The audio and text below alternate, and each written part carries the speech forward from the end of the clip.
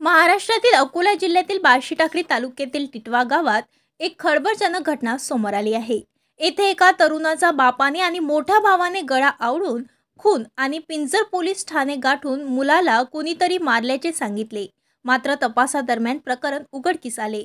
अकोला जिल्ह्यातील बार्शी टाकळी तालुक्यातील टिटवा गावातील संदीप गावंडे या तरुणाची बापाने व त्याच्या मोठ्या भावाने मिळून गळा आवडून हातपाय बांधून हत्या केली. संदीपचे गावातील एका अनुसूचित जातीच्या मुलीशी प्रेम प्रकरण जुडले होते व तो तिच्याशी लग्न करणार होता. हे प्रकरण घरातील लोकांना पसंत नसल्याने त्यांनी संदीपला टोकले असता त्यांच्यात वाद निर्माण झाला.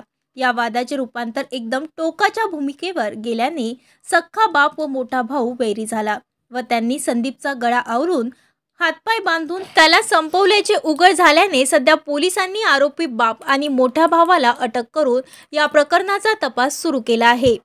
पोलिसांनी दिलेल्या माहितीनुसार बार्शी टाकळी तालुक्यातील टिटवा गावात वास्तव्यास असणारे नागोराव गावंडे यांना दोन मुले असून लहान मुलगा संदीप गावंडे हा पुणे येथील एका कंपनीत काम करीत होता.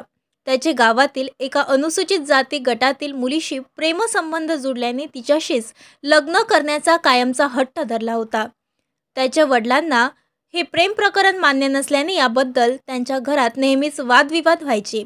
यामुळे संदीपने पडून जाऊन लग्न करण्याचे वडील नागोराव गावंडे यांना समजले. यावरून त्यांनी संदीपला तू तिच्याशी प्रेम का करतो?